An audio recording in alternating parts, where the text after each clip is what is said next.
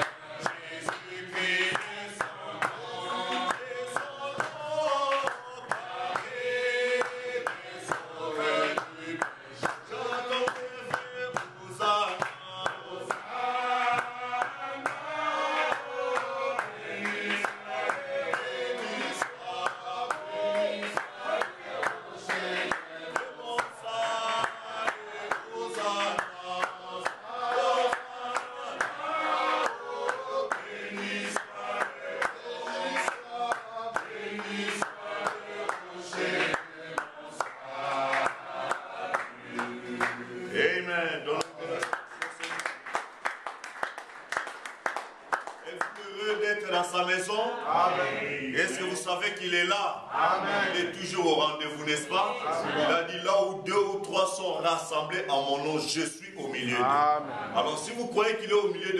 vous êtes dans l'attente, dans l'expectative, sachez que vous recevez au prix de votre foi. Si vous avez la foi qui peut vous apporter la guérison dans ce corps, il va vous l'accorder. Si vous avez la foi qui peut vous guérir dans ce corps, dans l'esprit, il va le faire. Si vous croyez qu'il va le faire dans le corps, dans l'esprit et dans l'âme, sachez qu'il le fera aussi. Il est fidèle à sa parole, n'est-ce pas? Êtes-vous heureux? Nous allons prendre juste euh, un petit couplet et puis euh, le refrain de- du cantique 21, il demeure. Je me réjouis toujours comme je marche en paix, car dans toute ma vie je vois la main de Dieu. Amen. Je me réjouis toujours comme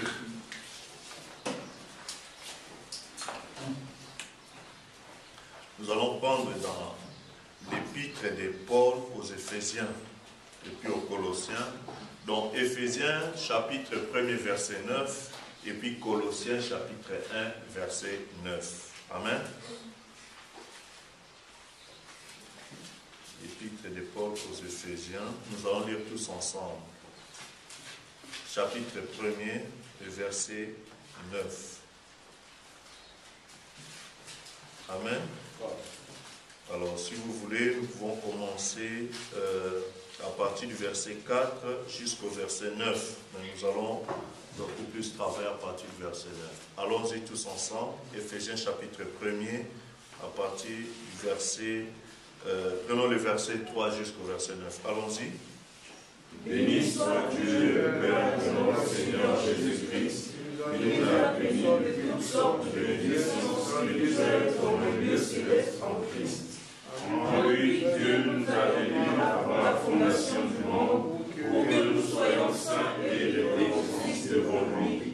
Nous ayons prédestinés dans son amour à être ses enfants d'adoption par Jésus-Christ selon le bon plaisir de sa volonté, à la louange de la gloire de sa grâce qui nous a accordé en son bien-aimé. En lui, nous avons la rédemption par son sang, la rémission des péchés selon la richesse de sa grâce, que Dieu a répandu abondamment sur nous par toute cette sagesse et de sagesse et Nous faisons connaître le mystère de sa volonté, selon le bienveillant dessein qu'il avait formé en lui-même. Amen. Verset 9 dit, nous faisons connaître le mystère de sa volonté selon le bienveillant dessein qu'il avait formé en lui-même. Amen. Donc la volonté de Dieu, c'est un mystère. N'est-ce pas? Nous allons aussi dans Colossiens, toujours l'épître de Paul aux Colossiens, chapitre 1er aussi, le verset 9. Colossiens 1, 9. Nous pouvons lire tous ensemble Allons-y. nous aussi, depuis le jour où nous avons été informés, nous ne cessons de prier Dieu pour vous et de demander que vous soyez remplis de la connaissance de sa volonté en toute sagesse et intelligence spirituelle. Verset 10. Pour marcher d'une manière digne du Seigneur et de être entièrement agréable, portant des fruits en toutes sortes de bonnes œuvres et passant à la connaissance de Dieu. Amen. Inclons nos têtes pour le de prière. Notre Père et notre Dieu, nous te disons merci pour la parole que venons de lire. Nous sentons véritablement ces bénédictions par la simple lecture parce qu'il est écrit Béni soit celui qui lit et celui qui écoute les paroles du livre. Ainsi, Père, nous prions que tes bénédictions se déversent sur nous en abondance. De sorte que ceux qui veulent de lire, que le Saint-Esprit nous en donne les contextes pour que nous obtenions la vie au travers d'elle. Car tes paroles sont esprit et vie. La Bible dit la lettre est tue, mais l'esprit vivifie. Et nous prions que l'esprit descende sur ces écrits pour vivifier cela, pour nous communiquer la vie. Tu as dit l'homme ne fera pas de pain seulement, mais de toute parole qui sort de la bouche de Dieu.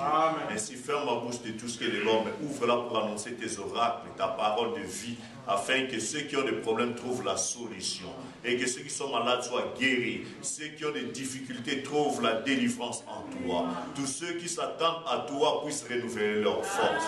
Commence avec nous cette réunion, termine là aussi avec nous. Que tout ce que l'ennemi a planifié pour déranger ce service soit détruit au nom du Seigneur Jésus-Christ.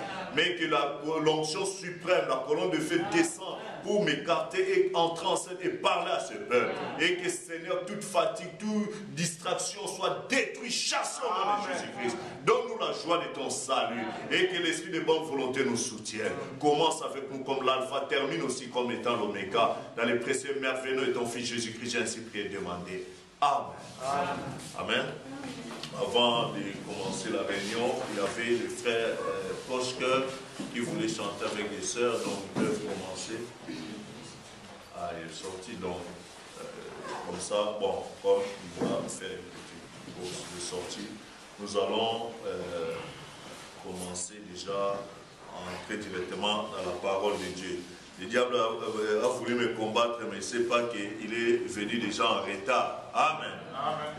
J'ai oublié les chargeurs de mon ordinateur, si bien que tout ce que j'allais lire comme citation, bon, c'est dans les PC, mais sans les chargeurs, je ne pourrais pas les lire, mais je crois qu'il euh, a oublié parce que euh, j'ai toujours la parole ici. Amen.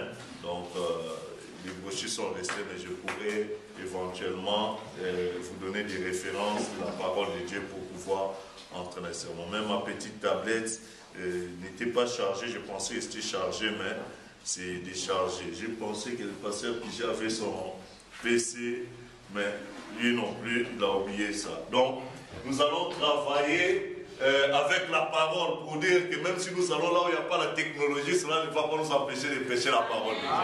Amen. Donc c'est bien la technologie, mais bon, il y a toujours des aléas de la technologie. Donc nous allons faire avec. Amen. Donc nous venons de lire dans Ephésiens chapitre 1er, euh, le verset 9. La Bible dit, nous faisons connaître le mystère de sa volonté. Amen. C'est un mystère que Dieu a formé en lui-même dès avant la fondation du monde. Amen. C'est quoi un mystère? Amen. La Bible, Frère Branham dit dans le message, euh, Christ, euh, ou bien euh, je peux vous donner la référence de M. Keller-il. Amen. Dans ce message-là, il dit, ou bien M. Essler, il dit, un mystère, c'est une vérité biblique scripturaire. Amen. Une vérité qui se trouve dans les Écritures que les gens ne comprennent pas. Mais une fois cela est révélé, il reste toujours un élément surnaturel. Malgré la révélation que les gens peuvent avoir de ce mystère, mais il y a toujours un élément surnaturel. Vous dites amen. amen. Alors pourquoi Dieu laisse cet élément surnaturel sur la chose qui a déjà été révélée? Parce qu'il laisse ça surnaturel, parce que c'est là où le Saint-Esprit doit interagir entre le croyant et Dieu lui-même. Amen. Amen. Dieu vous prêche la parole de Dieu, vous avez la révélation, vous avez tout ça, mais il laisse un élément surnaturel. Amen. Amen. Savez-vous que la foi est aussi une révélation? Amen. Mais il y a une foi intellectuelle et une foi spirituelle. Parce qu'une foi intellectuelle, on vous prêche la parole de Dieu et tout est connu intellectuellement. Quelqu'un peut lire beaucoup de versets de la Bible, que Jésus est Dieu, la Bible dit ça là-bas et tout ça. Il le croit, mais d'une manière intellectuelle. Amen. La Bible dit personne euh, ne peut connaître Christ, ne peut dire que Christ est fils de Dieu si, sinon par le Saint-Esprit. Mais tout beaucoup de gens reconnaissent que Jésus est le Christ. Même les papes le dire, mais est-ce qu'il a le Saint-Esprit pour autant? Mais ça veut dire qu'il y a une fois une confession intellectuelle. Parce que tu es convaincu, parce que tu as lu et tout ça, et ça reste. Mais quand ça devient une révélation, ça veut dire que même si tu ne peux pas lire, tu ne sais pas lire, ça va rester dans ton cœur gravé. Parce que Dieu te l'a expliqué non pas avec des termes des hommes, non pas avec le mental, l'intellect, mais par une révélation du cœur. Amen. Amen. Et aujourd'hui, l'épouse doit entrer dans une vision, dans une expérience de la révélation spirituelle. Non pas une révélation intellectuelle. La révélation intellectuelle a amené beaucoup, beaucoup, beaucoup de croyants formalistes intellectuels du message. Avec beaucoup de théories du message. Mais pas une vie, une expérience chrétienne du message. Est-ce que vous comprenez? Mais l'épouse vira dans l'enlèvement non pas avec une foi intellectuelle, mais avec une foi spirituelle de la révélation de Christ. Amen. Nous disons Amen. C'est pourquoi nous voulons entrer dans cette dimension. Nous voulons entrer dans, euh, dans cette profondeur. Donc, venons de lire, si vous pouvez permettre que nous puissions encore relire cela. Dans, euh, toujours dans euh, Ephésiens chapitre 1, verset 9, j'aimerais insister parce que nous allons lire beaucoup d'écritures. J'allais vous lire beaucoup de passages de la Bible et du prophète, mais bon, je n'ai pas la possibilité de vous les lire, mais prochainement je pourrai le faire. Frère Branham dit aussi dans le message euh, dans le message, dans le livre de l'adoption. Amen. En troisième partie, il dit que la volonté de Dieu, c'est un mystère. C'est ce que nous venons de dire. Amen. Et il dit, chacun de nous doit rechercher la volonté de Dieu pour sa vie. Amen. Donc Dieu a une volonté pour chacun d'entre nous. Quand tu comprends cette volonté-là, alors tu es un homme heureux. Mais si tu ne connais pas la volonté de Dieu pour ta vie, tu seras un vagabond. Tu seras un homme sans objectif.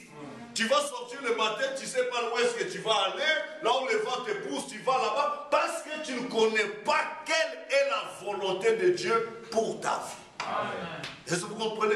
Et tout ce que nous faisons, nous faisons cela par rapport aux objectifs. Et l'objectif que tu veux atteindre, c'est ça la volonté que tu te fixes pour arriver à cela. Nous disons Amen. Si tu, on, t'envoie ici pour venir étudier et que tu n'as pas la volonté de venir étudier, tu ne pourras pas atteindre cet objectif. Il faut y mettre de ta volonté. Amen. Pour pouvoir y arriver. Et ta volonté t'amènera à pouvoir chercher. Si tu ne connais pas la chose, ta volonté te poussera à avoir une motivation de faire des recherches à poser des questions, à savoir qu'est-ce qu'il faut pour assimiler telle chose, qu'est-ce qu'il faut pour s'aligner et devenir meilleur et atteindre l'objectif. Amen. On dit Amen. Alors nous allons commencer à lire d'abord euh, dans un passage de l'Ancien Testament.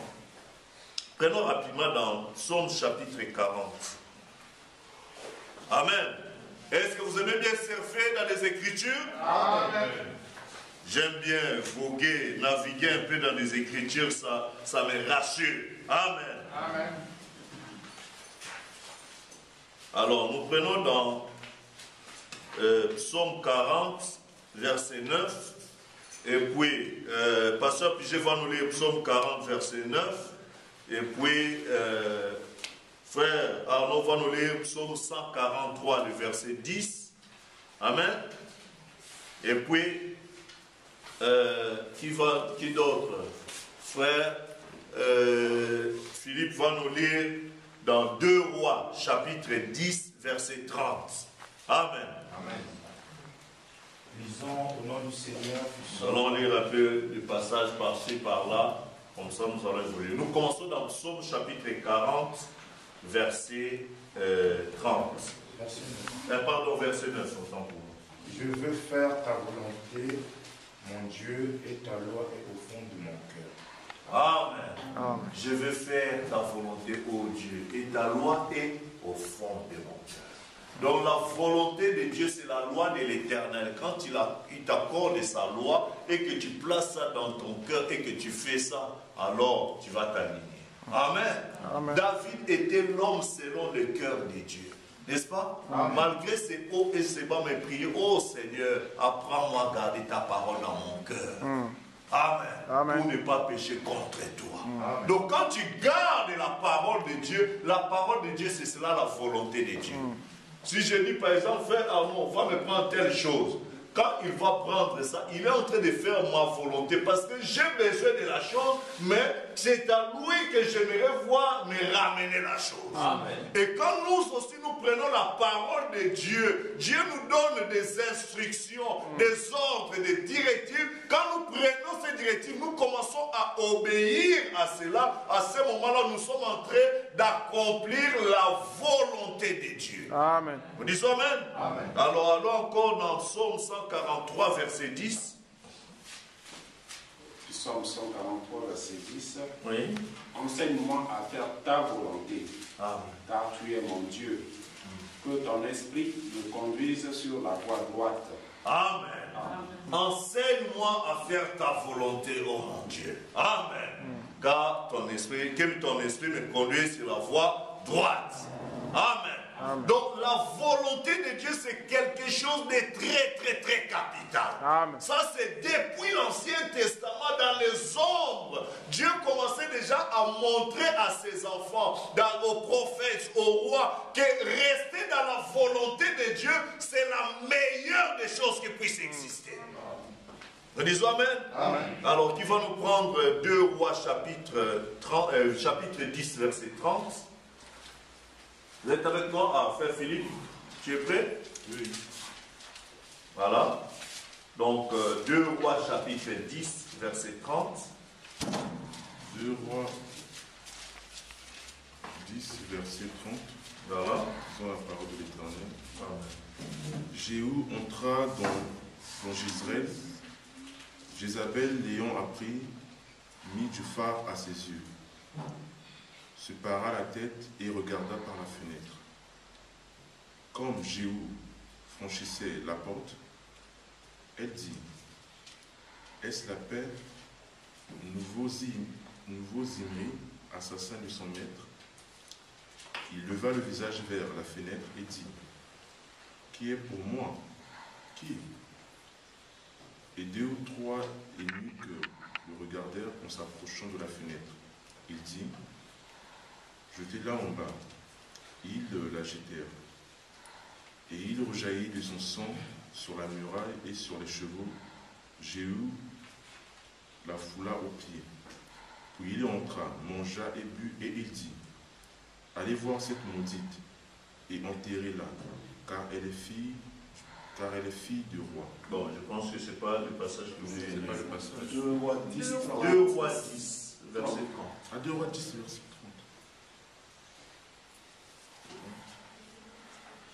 30. 2 rois, chapitre 10, verset 30. D'accord. L'Éternel dit à Jéhu, voilà, parce que tu as béni euh, parce que tu as bien exécuté ce qui était droit à mes yeux, et que tu as fait à la maison d'Akab tout ce qui était conforme à ma volonté, tes fils jusqu'à la quatrième génération seront assis sur le trône d'Israël. Amen. L'Éternel dit à Jéhu, parce que tu as bien exécuté ce qui était droit à mes yeux et que tu as fait à la maison d'Akab tout ce qui était conforme à ma volonté. Amen. Amen tes fils jusqu'à la quatrième génération seront assis sur le trône d'Israël. Quatre générations, c'est combien d'années? Si une génération, c'est 40 ans. 4 fois 4, ça donne? Donc, durant 160 ans, plus d'un siècle, toujours ça même, euh, euh, toujours les enfants des jeux qui devaient rester sur le trône d'Israël. Pourquoi? Parce que Jéhu a entendu, a fait ce qui était agréable à Dieu et il a exécuté, il a fait la volonté de Dieu. Amen. Ça, ce n'est que dans l'ombre. Amen. Faire la volonté de Dieu te donne le droit à t'asseoir sur le trône. Amen. Quelqu'un peut dire Amen à ça? Amen. Ça, c'est dans deux rois. Alors, allons encore dans Estras chapitre 10, verset 11. Amen. Écoutez ce que dit la Bible. Confessez maintenant votre force à l'Éternel, le Dieu de vos pères, et faites sa volonté. Séparez-vous des peuples du pays et des femmes étrangères. Amen. Amen. Confessez maintenant vos forces à l'éternel. C'est quoi vos forces? Tout ce que vous avez fait qui n'était pas la volonté de Dieu, c'était des forces. Amen. Amen. Quand vous le confessez, vous cherchez à vous séparer des peuples du pays. Quels sont les peuples du pays? Ce sont des étrangers dans lesquels, parmi lesquels ils vivaient. Amen. Ils avaient des comportements, des habitudes qui étaient contraires à la parole que Dieu avait donnée aux enfants d'Israël. Alors Dieu, Dieu, leur demande de confesser déjà leur tort. Amen. Amen. Et faire la volonté de Dieu. Quand vous faites la volonté de Dieu, vous allez vous séparer des peuples du pays qui vous entourent. Vous allez vous séparer des habitudes païens, des copains, copines qui nous vous influencent dans le mal pour faire la volonté de Dieu. Amen. Et ça, c'était dans des ombres que Dieu était en train d'enseigner ça à son peuple, qui est resté dans la volonté de Dieu, parce qu'en étant dans cette volonté, moi je vous bénirai. En étant dans cette volonté, en faisant ma volonté, je vous ferai asseoir sur Amen. Amen. Et si nous voulons prendre encore dans Ézéchiel 28, verset 2, la Bible dit, Fils de l'homme dit au prince de Tyr, ainsi parle le Seigneur l'Éternel, ton cœur s'est élevé et tu as dit, je suis Dieu, je suis assis sur le siège de Dieu au sein des mers. Toi, tu es un homme et non Dieu. Et tu prends ta volonté pour la volonté de Dieu. Tu es tellement gonflé. Tu dis que j'ai bien des choses, j'ai beaucoup de choses. Alors, je peux faire ce que je veux. Je suis assis sur des mers. Vous savez, les mers, c'est les, grandes eaux. C'est une multitude de peuples, de langues. Il y a beaucoup de gens qui sont sous mon influence. Alors, tu commences à prendre ta volonté. Tu commences à faire passer ça pour la volonté de Dieu. Dieu dit, mais toi, tu es un homme. Tu commences à prendre ta volonté, ton désir, ta parole, tu imposes comme étant la parole de Dieu. Mais dites ça au roi de Dieu, moi je vais les détruire. Il ne peut pas prendre la part, Dieu ne peut pas partager sa gloire avec personne. Amen. Alors nous devons faire très attention, frère. Si tu te mets sous l'influence de quelqu'un, tu es en train de faire sa volonté et non pas la volonté de Dieu. Si tu te mets sous l'influence d'une quelconque église qui ne te prêche pas la pure parole de Dieu, qui est la volonté de Dieu, tu es sous la, volonté de cette église, non pas la volonté de Dieu. Et nous sommes le peuple de Dieu, les enfants de Dieu, qui devons être sous la volonté, l'influence de Dieu. Amen. Nous disons Amen. C'est un mystère que Dieu avait en lui dès avant la fondation du monde. Le mystère de la volonté de Dieu. Amen. Il continue, dit,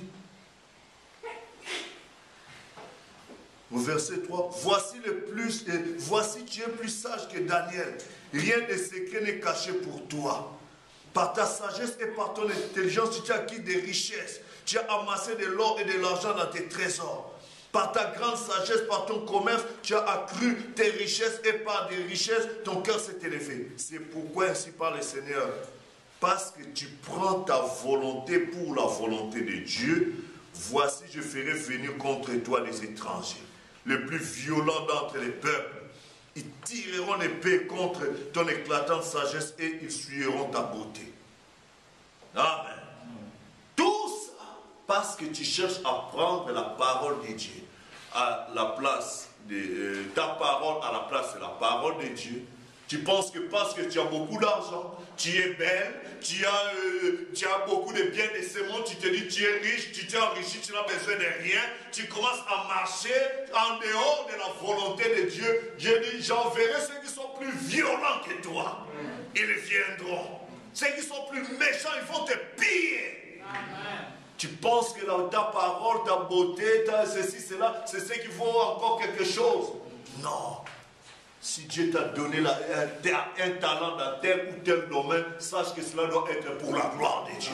Ça ne doit pas être pour le bien de ce monde. Si tu veux t'enorgueillir, tu veux t'élever au-dessus des autres et que tu penses que tu es au-dessus des autres, Dieu va t'écrouler. L'orgueil précède la ruine.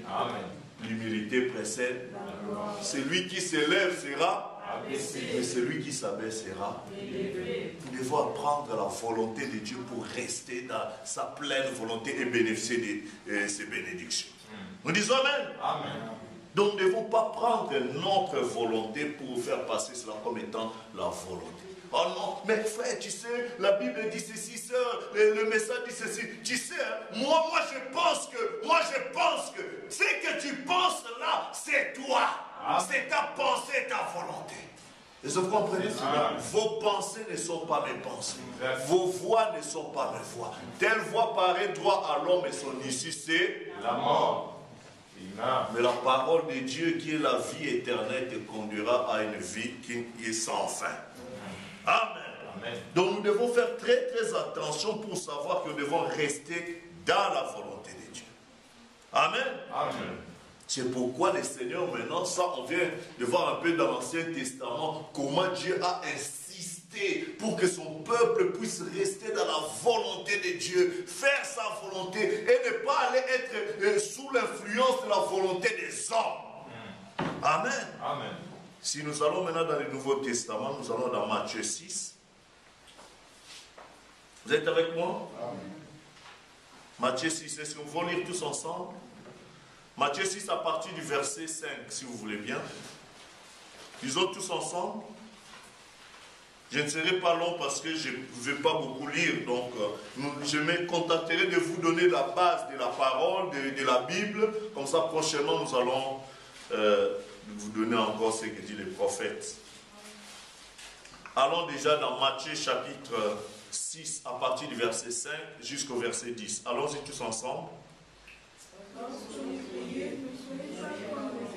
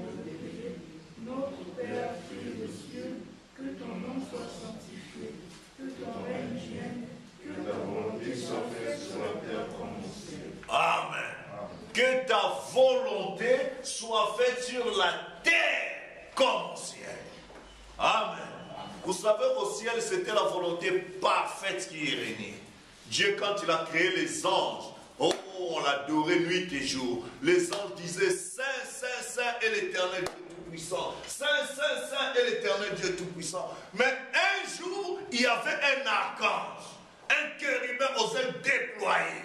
Lucifer, il a dit, mais comment tous les ciels, toutes ces armées célestes doivent seulement adorer ces dieux-là Non, non, non. Moi aussi, cette fois-ci, j'aimerais amener une mutinerie, une révolution, une rébellion pour pouvoir influencer les gens pour m'adorer. Amen. Est-ce que vous comprenez? Alors, il a amené, il a séduit deux tiers des anges. Le savez-vous? Il a séduit deux tiers des anges pour pouvoir amener une révolution au ciel. Après avoir amené cette révolution, il les a séduits, alors il y a eu une bataille au ciel. Amen. Parce qu'il y avait un camp qui voulait influencer les autres anges, les un tiers, à faire la volonté de Lucifer. Et l'autre deux tiers, euh, deux tiers faisaient la volonté de Lucifer et voulait influencer aussi les un tiers pour faire cette volonté. Alors Michael, l'ange puissant, il a commencé une bataille avec eux. Il a dit, moi je ne peux pas permettre ça, il faut que je puisse les combattre. Amen. Alors Lucifer n'était pas plus fort que euh, Michael. Ils ont pourchassé Michael, Lucifer là-bas, alors ils ont quitté le ciel, ils sont descendus sur la terre. Est-ce que vous comprenez? Parce qu'ils voulaient imposer sa volonté au ciel là-bas, il n'a pas réussi, ils sont descendus sur la terre. Et quand ils sont descendus sur la terre, sur la terre, vous savez là où ils sont allés? Ils sont partis en Éden. Là où il y avait encore le peuple de Dieu qui était là-bas. Elle dit, quand tu vas chasser au ciel là-bas, c'est pas grave, mais sache que tu as encore tes peuples là-bas. Parce que l'adoration des enfants de Dieu sont plus importantes que l'adoration des anges. Alors elle a dit, comme je n'ai pas réussi à séduire tous les anges, j'irai maintenant séduire tes enfants. Amen. Est-ce que vous comprenez? Parce que dans son cœur, il s'est dit que je monterai au ciel, je me mettrai sur le trône pour que les anges de Dieu m'adorent mais il n'a pas réussi cela. Hmm. Et quand il a été chassé du ciel et descendu sur la terre, ces anges déchus, c'est ce que nous appelons aujourd'hui des démons. Amen. Amen. Parce que la Bible dit le diable peut se transformer en un ange. Pour ce qui est l'adoration, il le maîtrise. Il maîtrise l'adoration. Il peut te oindre d'un esprit religieux. Il te donne une connaissance intellectuelle de la parole de Dieu. Parce qu'il connaît les Écritures. Remarquez que même devant Jésus, il est allé dire que si tu es le Fils de Dieu, il lui cite une écriture, il cite l'écriture là-bas. Vous savez pourquoi il était en train de citer ces écritures à Jésus? Le combat était une euh, un seul combat, avait un seul objectif, changer la volonté de Dieu, faire faire à Jésus-Christ la volonté de, de, Satan au lieu de faire la volonté de Dieu. Amen. C'est ça le combat de tous les âges.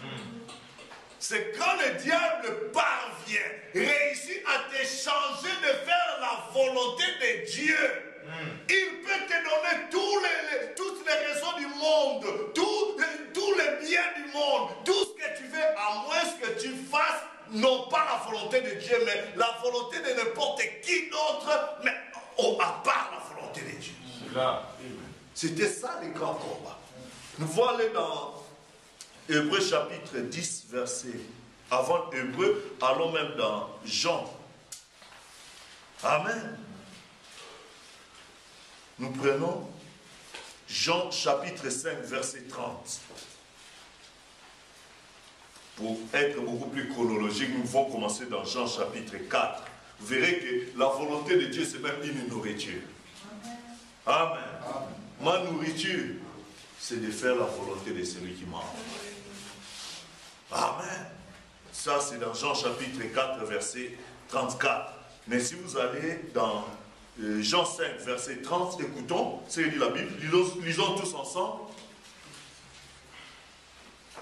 Vous avez trouvé Jean chapitre 5, verset 30. Allons-y. Je ne puis rien faire moi-même. Selon que j'entends, je juge et mon jugement est juste. Amen. Continuons. Parce que je ne cherche pas ma volonté, mais la volonté de celui qui m'a envoyé. Ah. Je ne puis rien faire par moi-même. Tout ce que je cherche à faire, je vais d'abord connaître quelle est la volonté de Dieu. Quand je connais sa volonté, je sais ça, alors je vais l'exécuter. Ça, ce sont les propres paroles du Seigneur Jésus. Allons dans Jean 6, 38. Qu'est-ce qu'il dit? Pourquoi il a quitté le ciel pour venir sur la terre?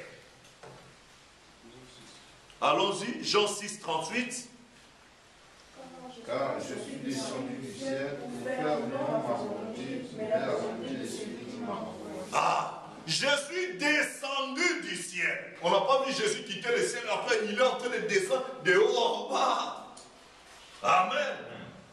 Mais quand Dieu change de forme, c'est cela descend. Amen. Amen. Il est né dans une crèche, mais c'est cela descendre du ciel. Je suis descendu du ciel pour faire non ma volonté, mais la volonté de celui qui m'a envoyé. Amen. Si lui, il est descendu du ciel, non pas pour faire sa volonté. Si toi, tu es son frère, tu es sa sœur, tu es sa mère, tu feras la volonté de qui? Là. Et maintenant, Jésus-Christ va nous identifier qui sont ceux qui sont ses frères, ses parents. Amen. Amen. Qu'est-ce qu'il dit dans ses frères et tout ça Il dit ça dans euh, Matthieu chapitre 12 verset 50. Parce que Jésus dit, je suis descendu du ciel, non pas pour faire ma volonté, mais la volonté de celui qui m'a envoyé. Voilà pourquoi dans Matthieu 4, le diable est venu le combattre jour pour jour. Il a influencé son esprit dans la vie qu'il avait 30 ans. Mais c'est un jeune qui a plein de projets. Il est intelligent, il est sage. Mais écoute, jeune homme, tu vois le royaume là. Il y a Schengen là-bas. Je, je peux te donner tout ce que tu veux à Schengen. Je te donne le visage, je te donne le privilège. Tu vas ouvrir des histoires dans ton pays, tu deviendras riche. Il dit, ah bon, c'est ce que tu mais il est écrit. Ah, toi aussi. Les affaires, je vais t'entraîner dans les affaires. Tu me parles de Dieu. Bon, comme toi tu aimes les choses de Dieu, je t'amène dans le temple. Il amène encore au haut du sommet du temple. Amen. Il est écrit. Tu peux te jeter et Dieu enverra de ses anges comme ça, quand les gens verront que tu tombes, rien ne se fait, mais tu devenais homme populaire, on dira que vraiment tu es un saint homme de Dieu. Comment quelqu'un qui est tombé du haut du temple, il tombe par terre et puis rien ne s'est passé, n'est pas cassé. Tout ça, non, c'est vraiment un homme de Dieu, confirmé. On va le publier dans tous les journaux du monde. Ah, celui-là, c'est un puissant homme de Dieu, tout ça. Mais Jésus lui dit, ah, tu cherches à me rendre populaire. Mais il est écrit. Ah Après, il dit, écoute, si tu te prosternes seulement et m'adores, alors je te donnerai tout ça. Il dit, ah bon, donc c'était ça ton objectif. Arrière de moi, Satan, va-t'en Car il est écrit. Toujours il est écrit. Il est écrit. Il est écrit. Amen. Ça, le diable n'a pas hésité de le faire à notre frère aîné. Le Seigneur Jésus, c'est notre frère aîné? Alors, qui sont ses frères, qui sont ses sœurs? Matthieu chapitre 12, verset 50. Lisons tous ensemble.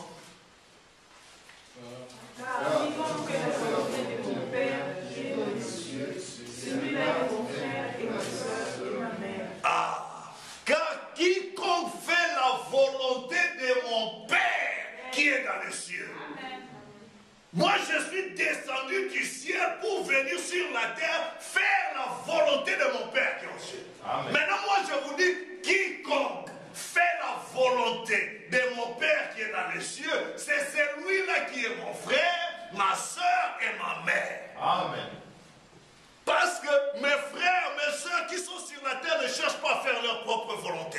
Ils ne cherchent pas à faire la volonté du diable. Ils ne sont pas là pour ah je vais garder ceci. Il oublie la volonté de son père et il se précipite pour faire sa propre volonté. Non, non, cela n'est pas les frères de Jésus. Et beaucoup viendront pour dire, mais nous étions des parents, nous, nous, étions en train de travailler avec toi, nous étions des co-ouvriers avec toi. Si vous allez dans Matthieu 7, verset 21, vous verrez Jésus dire, plusieurs viendront à moi ces jours-là.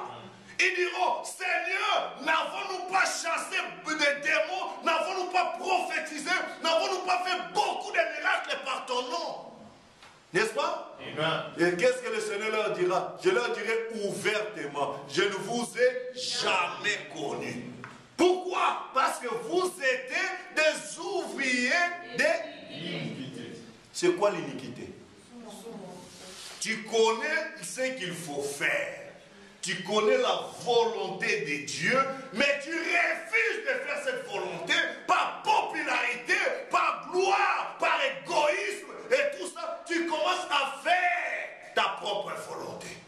Beaucoup sont haut de la chair pour les vendre. Beaucoup prêchent l'évangile pour amasser beaucoup d'argent, qu'on parle d'eux, qui deviennent populaires, de je ne sais quel titre et tout ça qu'on peut les donner. Pour qu'ils soient connus au monde. Mais ce n'est pas pour la gloire de Dieu. Et ces gens-là sont ouais avec une véritable onction, chassant les démons au nom de Jésus-Christ. Prêchez tout ça, mais ils ne vont pas vous prêcher la totalité de la parole. C'est pourquoi fait beaucoup de miracles. Parce que Jésus va fermer la porte du ciel à beaucoup de gens qui ont fait des miracles à part son nom. Mais ce sont ceux qui font la volonté. Nous disons Amen. Amen. Jésus dit, j'ai des frères sur la terre, j'ai des soeurs sur la terre, j'ai des mères et tout ça. Mais comment vous, vous allez les reconnaître? Moi, je sais comment les reconnaître. Quiconque fait la volonté de mon Père qui est dans les cieux, c'est celui-là qui est mon frère. Amen. N'est-ce pas merveilleux de connaître la volonté de Dieu? Voilà pourquoi nous avons lu dans un Colossien, dans Colossien, Paul dit, nous prions, nous pouvons retourner dans Colossien 1, 9, mes frères, pour lire. Il dit que même nous-mêmes, nous sommes en train de prier pour persévérer, afin que vous puissiez croître dans la connaissance de Dieu, de sa volonté. Quand tu connais sa volonté et que tu persévères, Seigneur, aide-moi à faire ta volonté. Aide-moi, Seigneur. Mais on me propose tel marché, on me propose tel emploi. Mais est-ce que cela rentre dans le cadre de la volonté? Tel monsieur veut m'épouser, il a beaucoup d'argent, il a des châteaux, il a des villas aux États-Unis. Moi, je serai sa, euh, sa petite copine, sa maîtresse. Est-ce que c'est dans la volonté de Dieu cette relation? Mais je serai à la présidence, je serai la, la je sais pas, un euh, cinquième bureau de tel ministre de ceci. Est-ce que cette relation est dans la volonté de Dieu? Amen. Vous, vos frères là qui galèrent, là, qui n'ont même pas, ils, ne sont même pas galants, ils sont gracieux. Comment moi je vais prendre un frère et tout ça? Ah, moi je ne peux pas. Ah oui, tu ne peux pas, mais c'est rempli du Saint-Esprit. Ah, les Saint-Esprit sont mauvais. Oui, c'est bien. Tu vas sentir le bon parfum avec des coups de poing dans les têtes. Ah, c'est bien. Vous comprenez Tout ce que tu veux entreprendre, cherchons d'abord à faire la volonté de Dieu. Ne dis pas, je vais faire ceci. Jacques même nous a exhorté, il a dit, n'allez pas dire, ah, je suis un homme d'affaires, j'irai euh, là-bas à Dubaï, ces jours-là, euh, je ne sais pas moi, à Tokyo, là-bas et tout ça. Il dit, je ferai ceci si telle est la volonté. Tu ne sais pas qu'il y a beaucoup de crash. Tu ne sais pas qu'il y aura ceci. Ah non, moi je vais prendre des croisières, des romantiques et tout ça. Tu ne sais pas qu'il y a des, des, Titanic qui ont été engloutis. Est-ce que vous comprenez? Amen.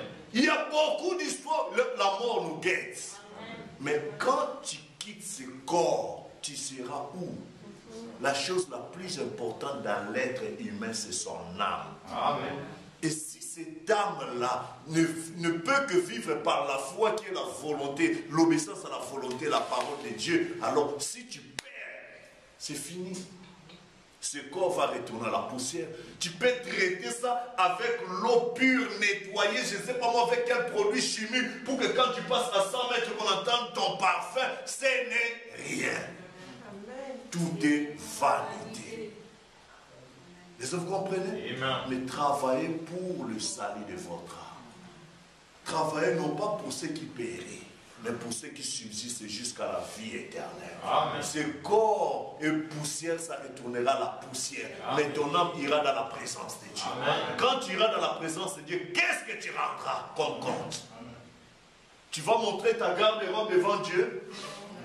Ah, regardez comment j'étais toujours à la mort de chaque saison qui sortait. Chaque collection, j'en avais. C'est ça que tu vas montrer à Dieu. Donc cet argent-là, combien de fois tu as pris le transport pour aller à l'église? Combien de fois tu as pris le temps de contribuer pour que l'évangile soit prêché et que cela porte notre sang, mon Seigneur? Combien de fois tu as pensé à cette soeur-là, à ces frères-là qui n'avaient rien? Amen. Si Dieu te donne quelque chose, sache que si Dieu veut être glorifié par toi. Nous disons Amen. Amen.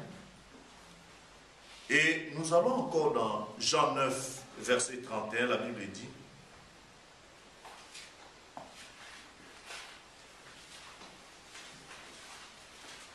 Jean 9.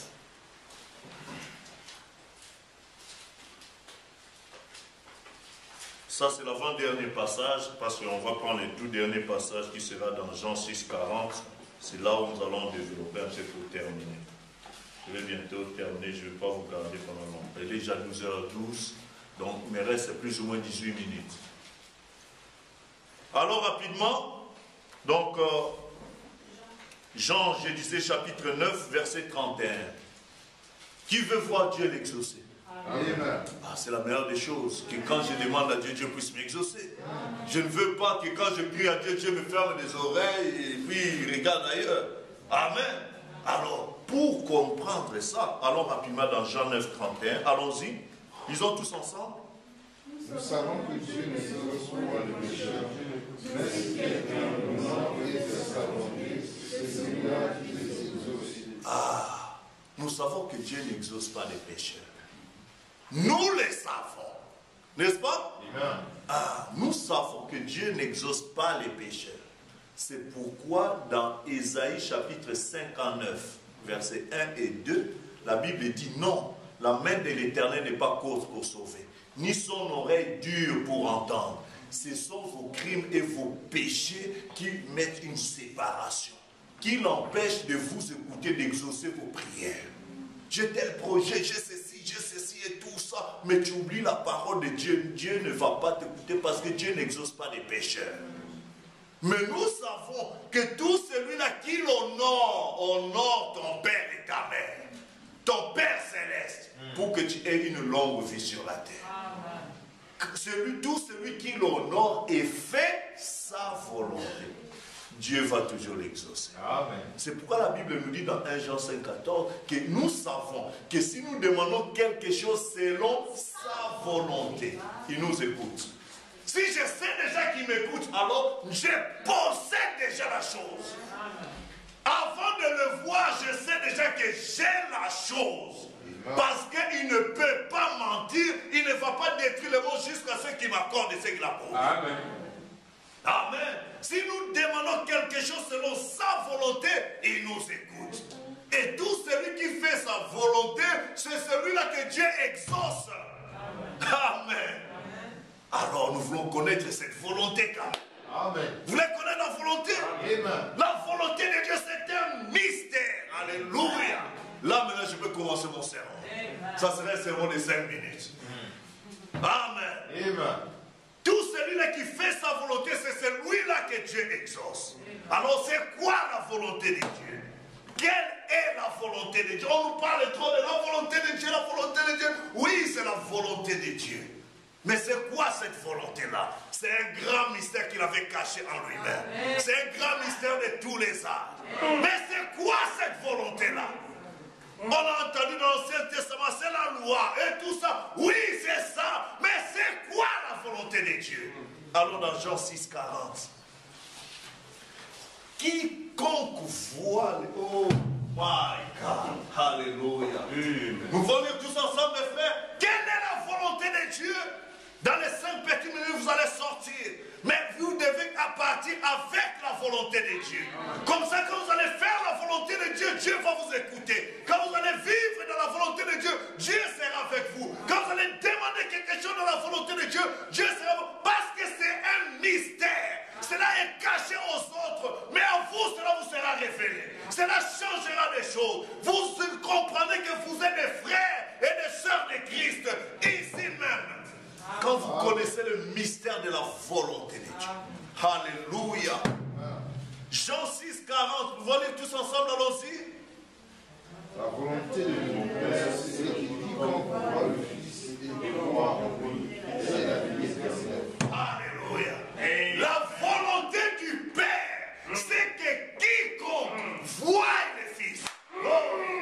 Amen. La volonté du Père, c'est que quiconque voit Voir, ce n'est pas avec les yeux. Amen. Si tu n'es pas né de nouveau, tu ne verras pas le royaume. Ce n'est pas avec ses yeux. Voir, ça veut dire comprendre. Amen. La volonté de Dieu, c'est un mystère. Voir le Fils, avoir la révélation, comprendre le Fils au temps présent. Amen. Il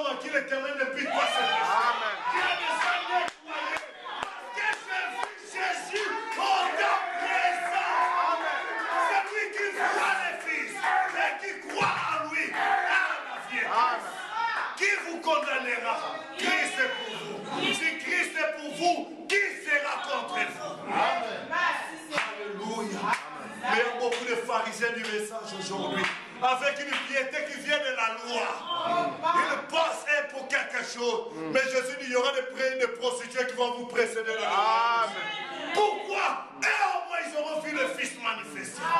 Comme la Samaritaine qui a vu le Messie dans une chair. Et qui a cru.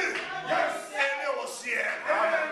Est-ce que vous comprenez Si tu vois le Christ dans le ministère du Fils de l'homme, manifestant la chair humaine, il a prouvé cela à la sémence royale d'Abraham. Oh, sémence d'Abraham. Voici le ciel, le mystère de la volonté de Dieu. La volonté de Dieu et que quiconque voit le Fils. As-tu vu le Fils Amen. Amen. Je vais changer de dimension. Nous l'avons vu dans la nuée. Dans la nuée, c'est la photo qui reste. Même les gens de la science ont vu la photo, mais ils n'ont pas vu le Fils. Amen. Ce n'est pas Branham qui a, vu, qui a pris cette photo-là. Non, non. Branham a vu cela être publié plusieurs mois après. Mais lui, il était avec les anges. Il a pu les a croisés. Il a vu le Fils.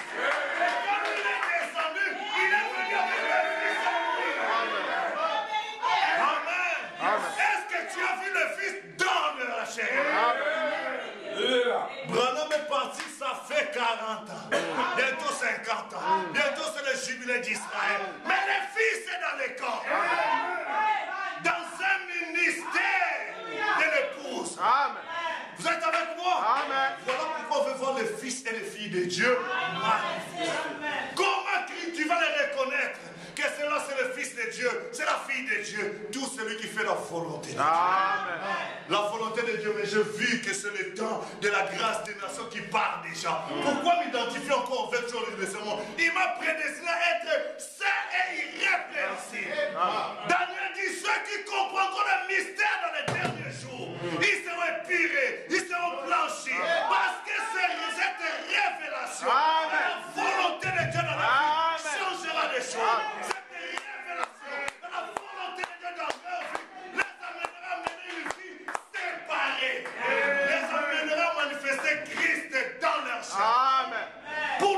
S'habilleront différemment. Elles ne vont pas se coiffer comme Jézabel avec des phares et beaucoup de choses charnelles, païennes. Mais elles seront différentes. Comme étant les filles de Dieu qui font ces preuves qu'elles servent l'éternel. Amen des fils de Dieu qui seront corrects, qui marcheront sur la parole de Dieu pour glorifier Christ dans ce monde qui sera. Car la création soupire, attend à voir la manifestation. Non pas les débats, non pas les cris, non pas quoi ce soit, mais la vie vécue de Christ. Le tonnerre, c'est une vie sanctifiée. Quand cela est manifesté sur la terre, on peut dire Christ en train de marcher sur la terre. Dans la sémence du pas parole de son verset, frère Branham dit Je crois. Branham Tabernacle, nous croyons à la seconde venue du Seigneur Jésus. Amen. Les visibles, plusieurs visibles. Dieu dans mon frère, Dieu dans ma soeur, en train de marcher, on est en train de voir Christ. Amen. Pourquoi? Car il vient pour être glorifié dans ses saints. Amen. Christ en vous, l'espérance et la gloire. Es-tu prêt à voir cette volonté-là? Alors si tu as Christ en toi, tes affections seront attachées aux affections des choses célestes. Tu n'auras plus des affections des choses terrestres. Si tu en as encore en toi, sache que dans ta vraie nature chrétienne, tu es destiné pour les ciels. Alors mets-toi à genoux, va confesser tes péchés à la Dis Seigneur, je suis ta fille, je suis ton fils, je veux manifester ta volonté. Laisse-moi te glorifier dans ce monde qui se meurt. Que le Seigneur vous bénisse. Amen.